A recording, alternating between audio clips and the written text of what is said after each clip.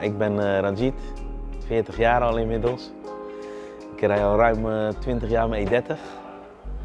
En uh, ik heb hem van helemaal aangepakt. Dus het is van de buiten nog wel E30, maar van de binnenkant niet meer. Er zit op dit moment een BMW M3 motor in van de E46. Alles is gewijzigd. Hij draait nu ook op 1100 pk, dus je zult begrijpen dat de gemiddelde E30 dat niet meer aan kan. Wat heb ik meestal nodig? Ja, dat is echt hartstikke verschillend. Van een boutje, een moertje tot een uh, complete achteras. het is echt heel verschillend. Nou, uh, wat ik zeg, ik heb mijn auto al 20 jaar in bezit. Toen ik hem kocht was hij nog niet helemaal zo mooi als vandaag.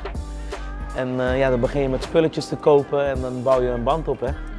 En inmiddels zit ik hier, dus een auto is natuurlijk nooit klaar.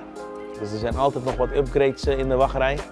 Maar dan moeten we eerst wat centjes sparen en dan gaan we volgend jaar binnen twee jaartjes even het interieur aanpakken. Dat dat ook gewoon degelijk eruit ziet. Het meest trotse op mijn wagen vind ik, uh, vind ik het vermogen. Dat hij uh, 1100 pk heeft kunnen klaarspelen. En daarbij ook nog dat je het heel kan houden. Want je kan wel een, een, auto bouwen en dan twee keer gas geven gaat alles kapot. En dat is nou hier niet meer het geval. Het is geen dagelijkse auto, geen weekendauto, het is zelfs een showauto. Dus hij komt enkele dagen per jaar naar buiten. En dan, dan doe ik waarvoor die gemaakt is. Hij is voor 99% open. Ik heb er een nieuwe kap op gezet.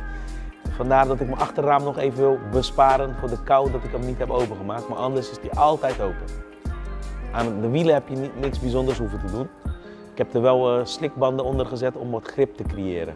Ik heb hem al uh, ruim 20 jaar in bezit, daar ben ik zeer trots op.